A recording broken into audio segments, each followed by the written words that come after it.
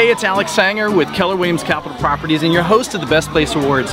Today we're here at Camp Tuckerman, which is off of Tuckerman Lane in Potomac, Maryland.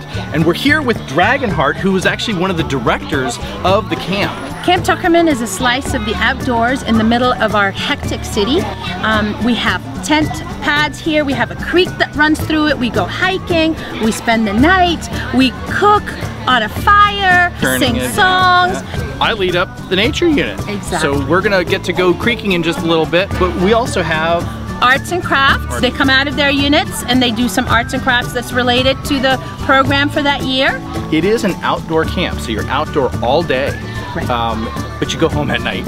Except we do have one overnight, right? Yes, we do have one extended day, so our younger campers can come. We have skits, we have a campfire if it's warm and if it's cool enough for us to have it. Correct. You'd be amazed at how many girls are like, I've never made a fire, nobody's ever taught me, and it, it is a skill that's learned. Correct, correct.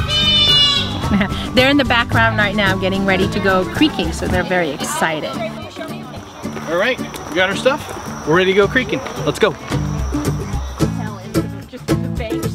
The girls learn all about what makes a good, uh, a healthy watershed that runs off into the bay and runs out into the ocean. So that's really part of our global uh, teaching, teaching them about, you know, how to keep your little world nice and neat and, and, and safe and healthy so that it affects the bigger picture. What kind of stuff can we find in the creek and in nature? Let's go take a look. Fast. Whoosh. Clicking your nets. Oh, wait, look. You caught one. Look. Minnows. Okay, hold on. Michaela, Dragonfly larva. Crayfish in the net.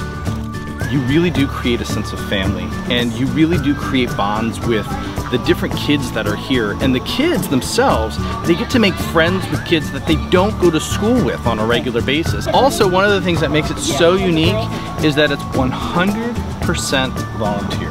Yes.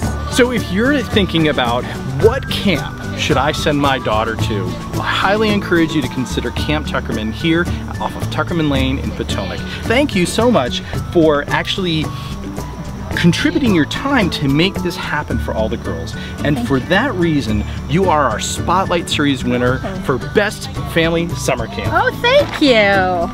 Thank you. Looking for more BPA winners? Visit bestplaceaward.com. Searching for homes nearby?